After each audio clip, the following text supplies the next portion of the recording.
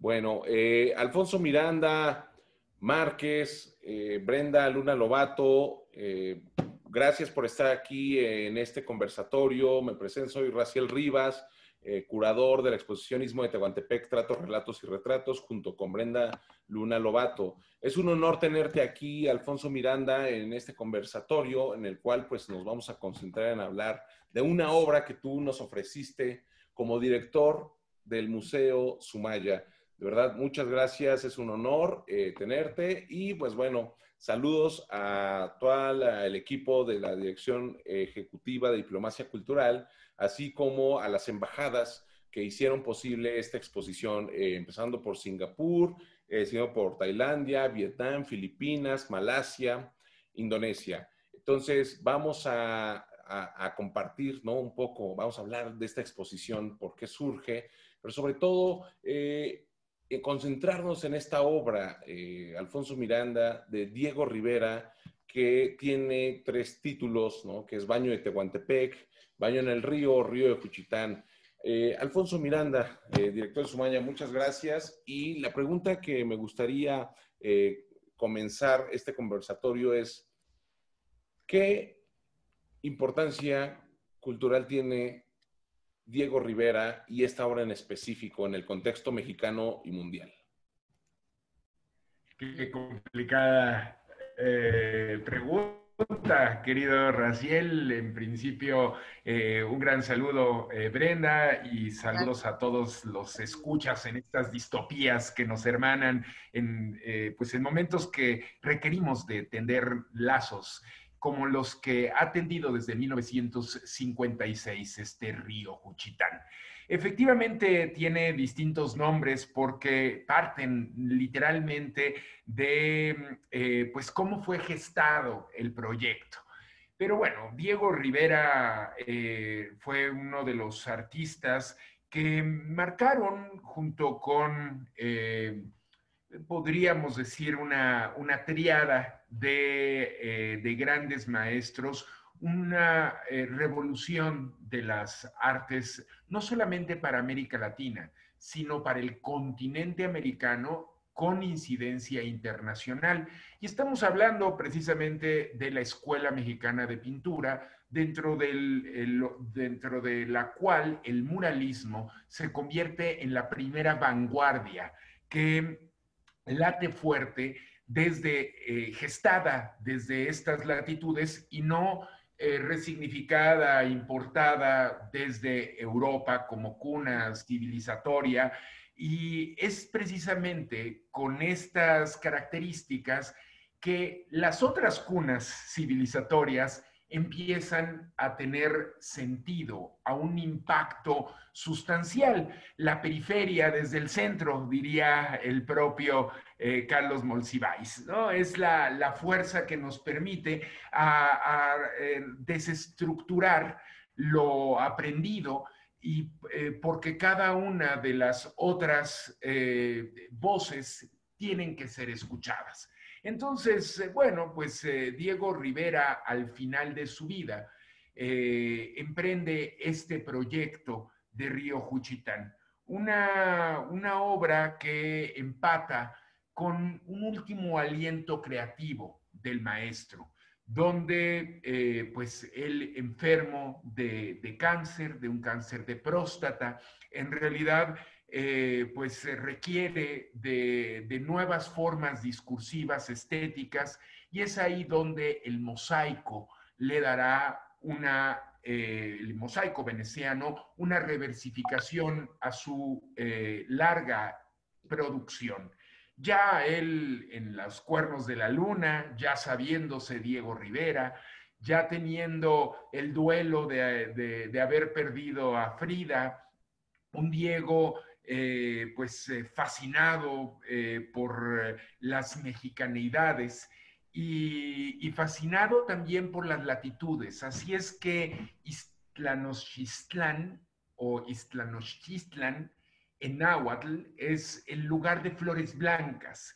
Y esta tradición que se recupera desde pues esta tradición mesoamericana del posclásico zapoteca, con la figura de eh, Cosijopi y es el señor de Tehuantepec. Esto se da cita en este mural. Cuando hablamos de Oaxaca, tenemos que hablar de qué Oaxaca, de qué tiempo de Oaxaca. Son tantos eh, los sitios y Tehuantepec será uno. Eh, esta eh, pues, pancita que se hace de, de, México, tan codiciada para unir las aguas de un mar océano junto con otro mar océano y que ha tenido tantas veces puntos de conflicto desde tiempos mesoamericanos hasta pasar por eh, un proyecto de, Benito Juárez que, quiso eh, pues ofrecérselo y se lo ofreció a los Estados Unidos a cambio de apoyo, porque ahí estaría el primer canal transoceánico afortunadamente tendríamos que decir, porque vimos lo que ocurrió con Panamá, no quedó en este espacio de tierras mexicanas.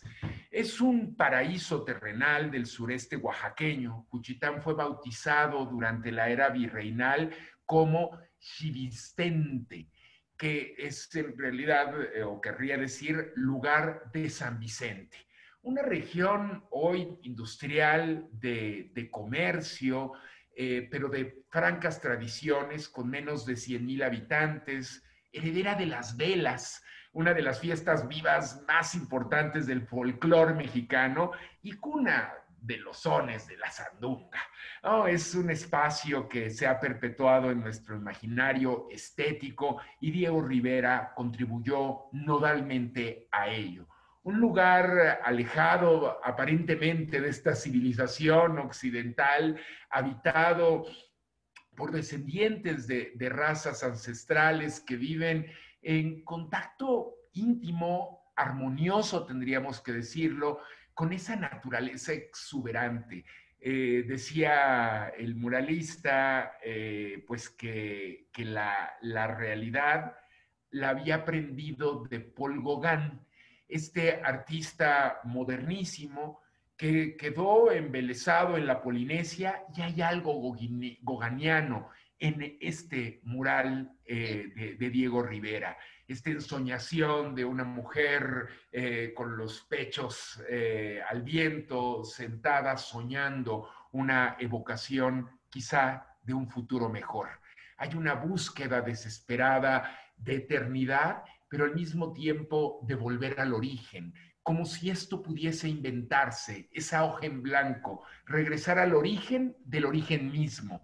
Eh, y esto resulta atractivo. Pero bueno, llegando al, propio mural, entre 1953 y 1955, eh, el maestro pintó al temple cuatro tablones transportables de Río Juchitán para el productor de cine Santiago Reachi. Él era socio de Mario Moreno Cantinflas, pero también de Jacques Gelman, eh, que juntos pues habían creado una empresa muy importante cinematográfica, Posa Films.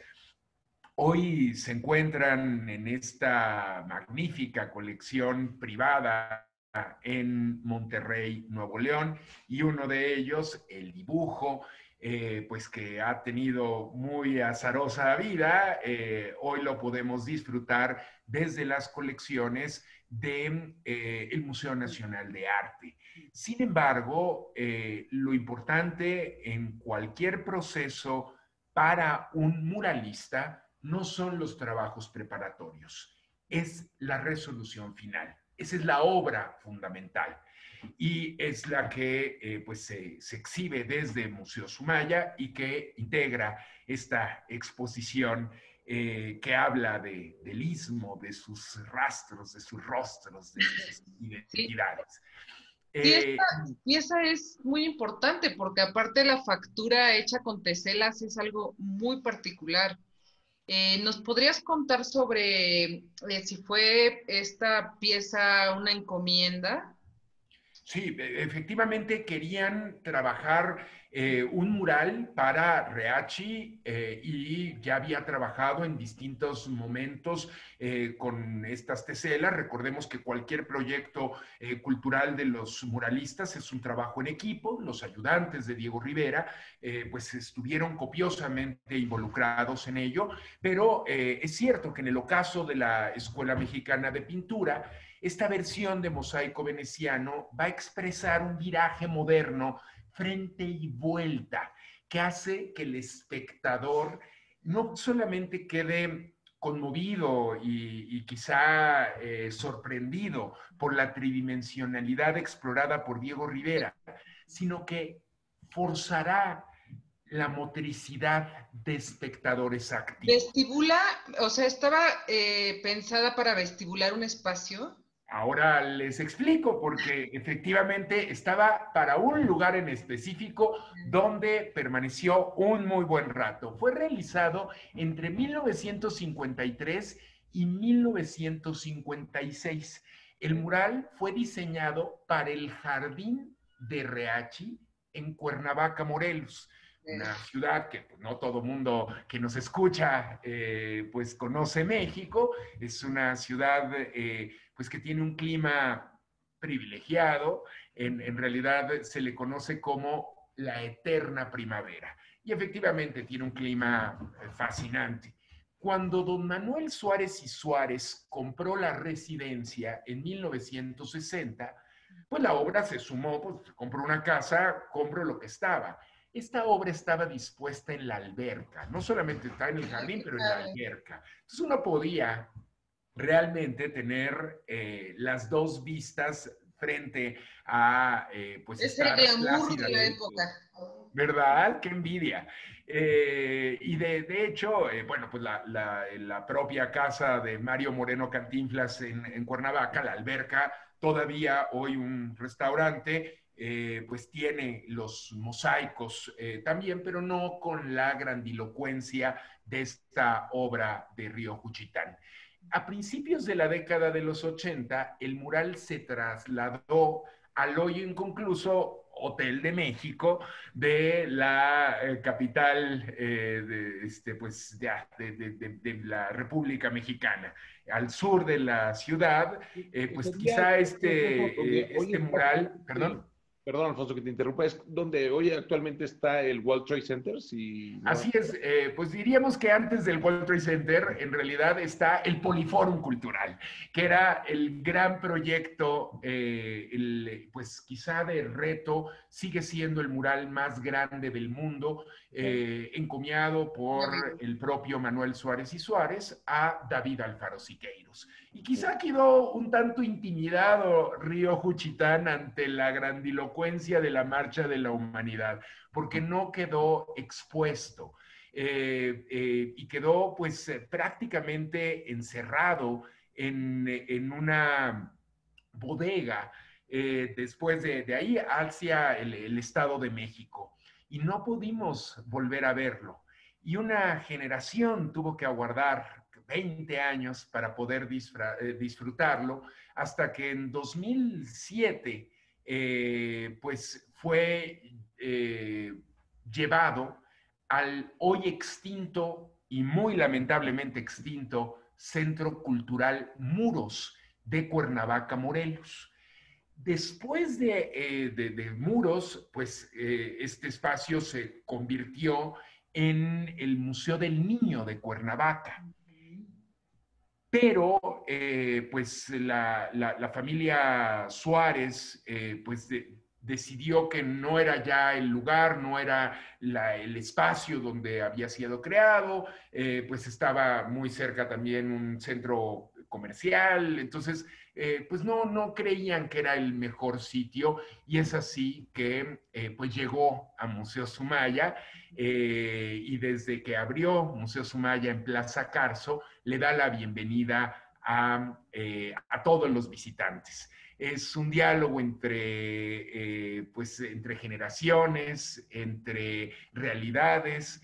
Fue trasladado antes de la apertura de esa nueva sede de Museo Sumaya y fue una empresa, una odisea para poderlo trasladar y ese baño de Tehuantepec pues tiene, como decíamos, estos, estos mosaicos millares de mosaicos venecianos adheridos con cemento cerámico que recubre la superficie de concreto y está enmarcado el bastidor de metal, unos 54 metros de alto por 8 metros con 72 centímetros de largo, que dan cuenta de una superficie total trabajada de 26.87 metros cuadrados y pesa aproximadamente 4 toneladas. Rivera exploró la composición en un paneo que se antoja, diríamos, cinematográfico. en el universo del istmo da cuenta pues de este padre que trata de alcanzar la otra orilla del río y del otro lado pues conocemos sus rostros. La madre baña con su jícara al pequeño que eh, pues eh, de, alguna forma se antoja agua corriente por las vibraciones de las teselas y al momento que eh, pues damos la, vuelta, descubrimos la cara del pequeñito, que parece estremecerse por el frío del agua. El joven, pues nada desnudo, sin tapujos en el río, como actualmente todavía lo hacen allá en Oaxaca. Y pues un niño más de pronto asoma su cabecita con una gorra de, baño muy moderna. Eh, la mujer se ducha, otra lava blanquísimas ropas en, el, río Cuchitán, todas visten estos coloridos enredos que se ciñen a la cintura, cubren las piernas, la joven recostada que les decía yo al principio de esta narración, que parece monólogo, pero ya me voy a callar, se los prometo, este, le pareciera soñar, un, sueño entre mariposas amarillas y flores. Es un mural bifásico eh, de, que, realmente eh, nos invita eh, en estas teselas a redescubrir Oaxaca, a redescubrir Tehuantepec, la cotidianidad y la entraña. Eh, y me, gustaría em, compartir con, ustedes una carta de Diego Rivera que da cuenta del mural. Eh, porque ya había trabajado eh, Diego, recordemos, el agua, fuente de vida y sobre todo historia popular de México, la primera del 51, la otra del 53, que van a ser antecedentes directos para el trabajo en moral veneciano. El primero, pues, será la, parte occidental de hoy tan debatido proyecto del bosque de Chapultepec eh, y la, que combinará el fresco con la piedra, el mosaico, y el segundo, pues que está eh, con justamente Mario Moreno Cantinflas a la manera de un Robin Hood mexicano en el Teatro de los Insurgentes. Y mm, la empresa que trabaja los mosaicos de toda la parte se llama la empresa Mosaicos Venecianos de México. Y estas resinas de polietileno pues se deterioraban rápidamente por estar al aire libre y entonces trabajó con otra compañía y entonces ahora sí comparto la carta.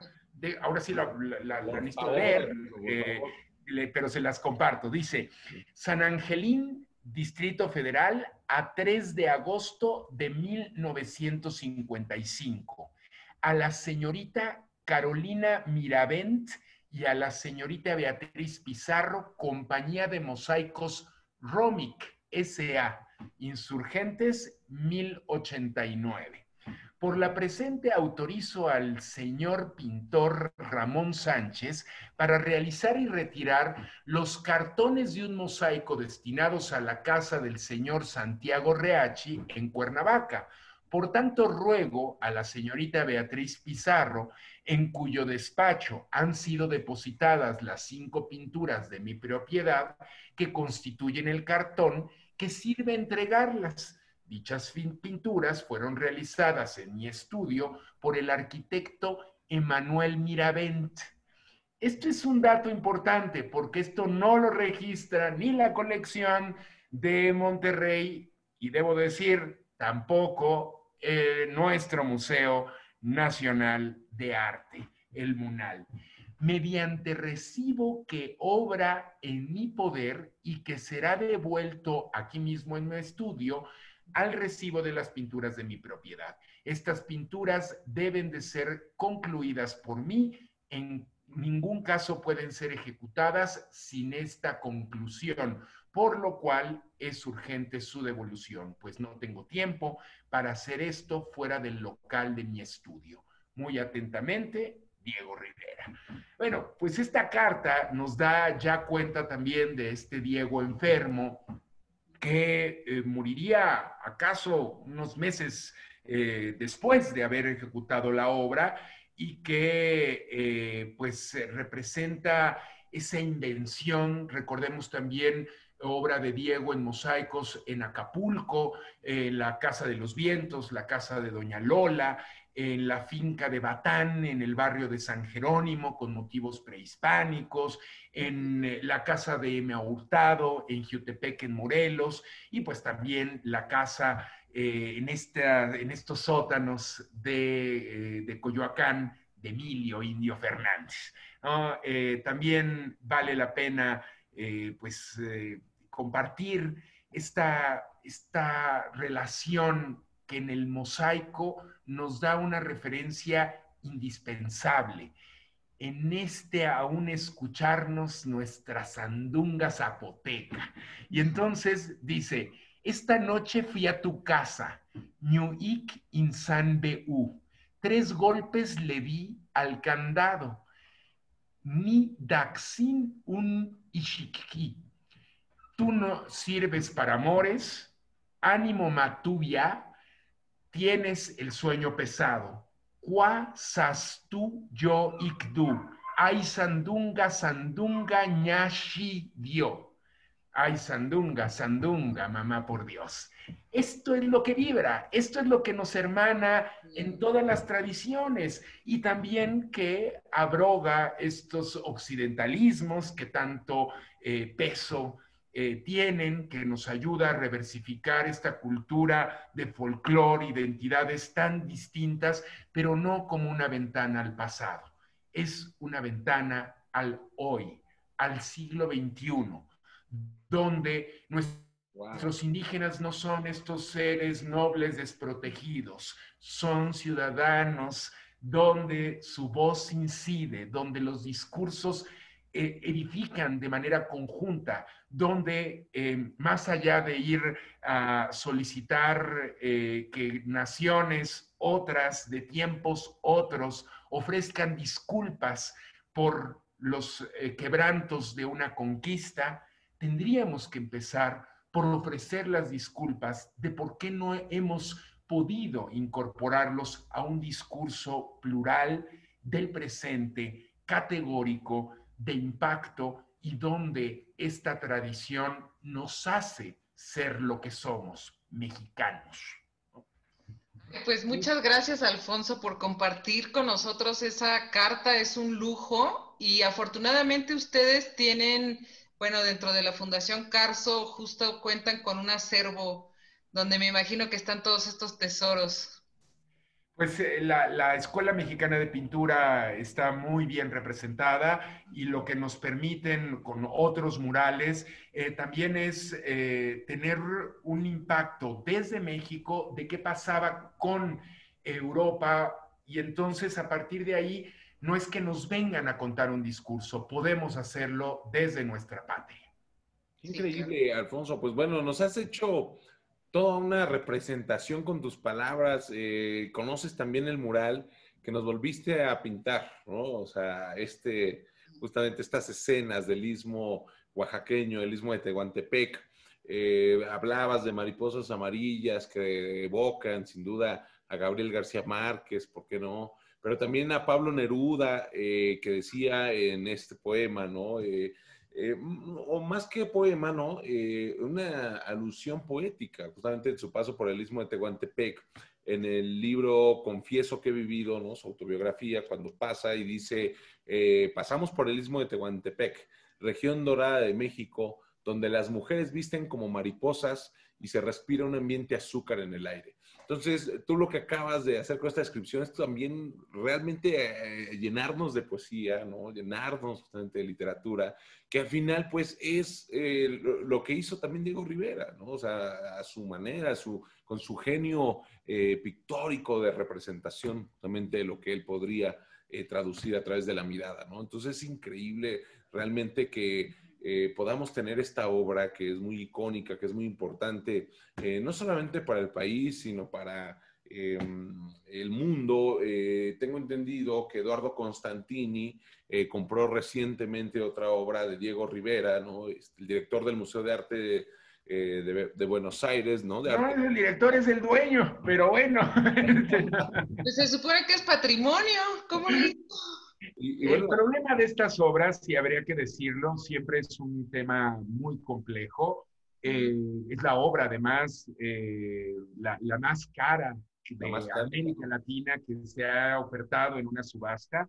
El hecho es de que salieron antes de la legislación. De la Efectivamente, la obra si toca territorio mexicano, tendrá que expropiarse. Eso es lo que también tendríamos que explicarles a autoridades que que buscan eh, que se presente aquí un códice o una pieza eh, mesoamericana es completamente inviable, precisamente porque tendría que ser repatriada y es eh, pues tema muy sensible y que requiere de mayores diálogos. Ahora, lo, lo, cierto es que efectivamente es una región, la de Juchitán, de tanta exploración para Diego, desde la parte prácticamente surrealista con esta Noche de los Rábanos, que también forma parte de la colección de, del Instituto Nacional de Bellas Artes, que se exhibe en el, Museo Nacional de Arte, y que desde ahí es una región que late identidad y que por eso hay tantos artistas que regresan al istmo a crear y que hoy creadores desde el istmo han salido al mundo a decir también nuestra voz cuenta.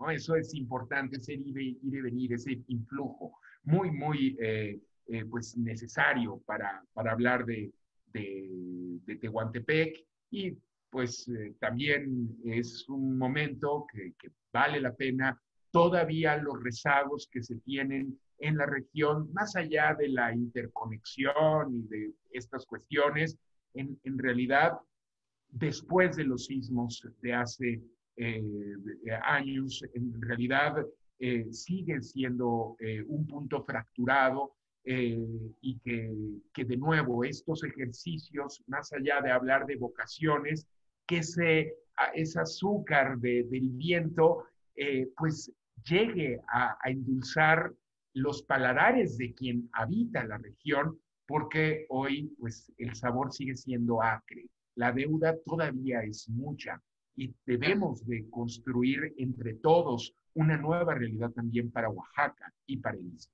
Claro.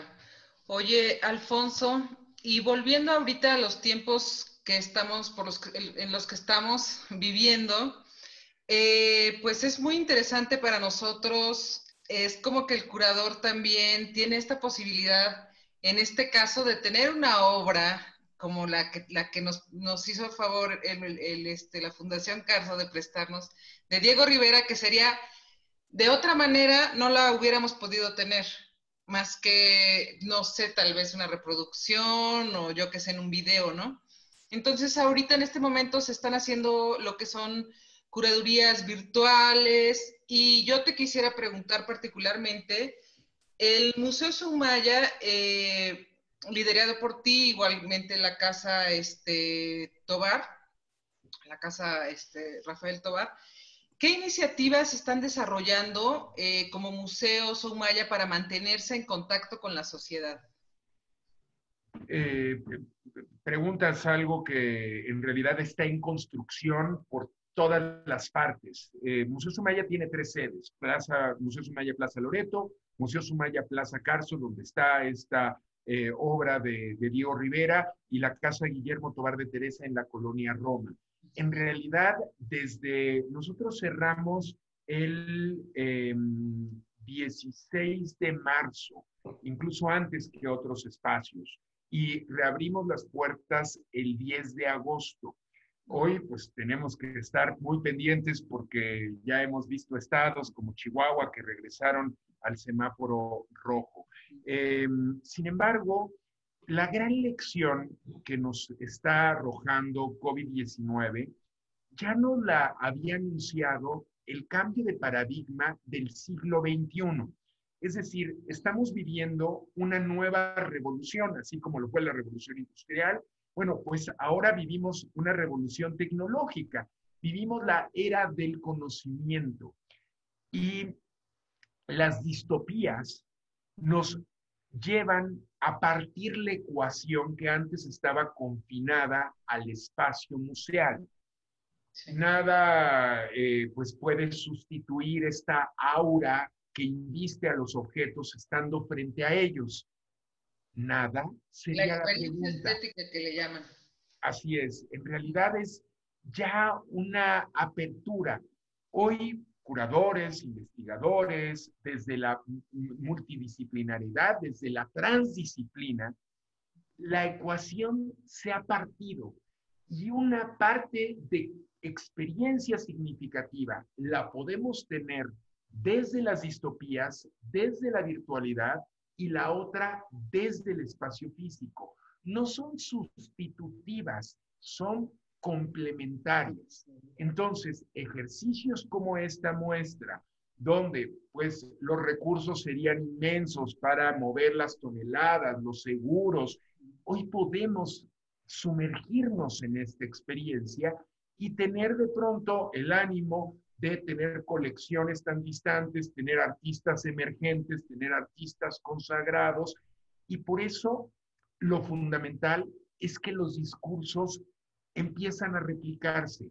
Y aunque no esté dado, podemos hablar de denuncia social con Diego Rivera, con Río Juchitán y de los rezagos que tiene la zona. Podemos alzar la voz, podemos decir cómo se ha interconectado una región desde el galeón de Manila.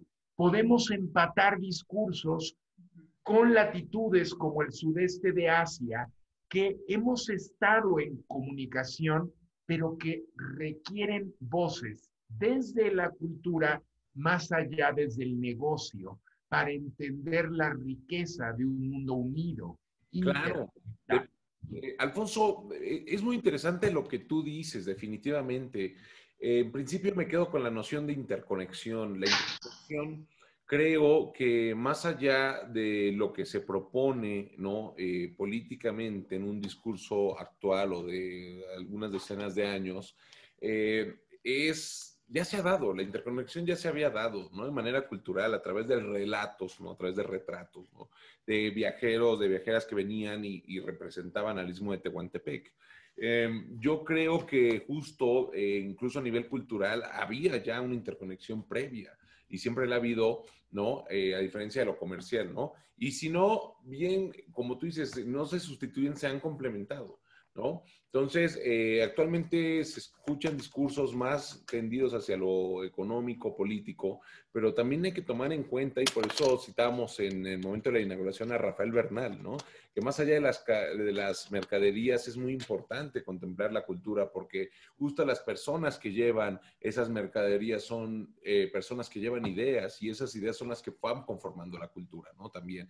Eh, me encanta lo que dices en el sentido de nuestro momento distópico que estamos viviendo, me hace recordar un tanto a Walter Benjamin, ¿no? Eh, en el sentido de la reproductibilidad técnica, que si bien Walter Benjamin no logró vislumbrar la era del Internet, al menos sí logró vislumbrar su formato, ¿no?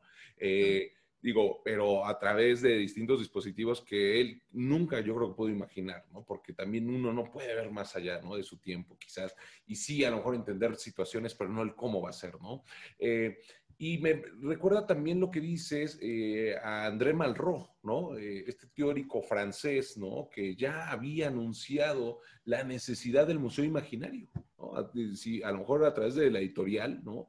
Eh, que los museos también tenían que empezar a reflexionar ya en el siglo XX su papel en el mundo y cómo se iba sobre todo a democratizar el acceso ¿no? A, la cultura. Entonces, André Malraux creo que fue un visionario en ese sentido, ¿no? Con el Museo Imaginario. Y digo, lo que tú dices ahorita es como muy interesante porque se, se actualiza nuevamente, ¿no? Se actualiza. A mí me gustaría nada más citar a Juan Hacha para que haya eh, desde América Latina, ¿no? Perú, México, Juan Hacha también eh, pues abrogó estas ideas del Museo Aquilosado, que claro. Eh, y, y, al mismo tiempo hablar de esta eh, pues, pues, sí, una era de la reproductibilidad, allá donde el mensaje eh, tiene ecos muy importantes y de mirar, de, de voltear nuestra mirada hacia nuestras propias, eh, nuestros propios procesos, nuestros propios devenires. Claro.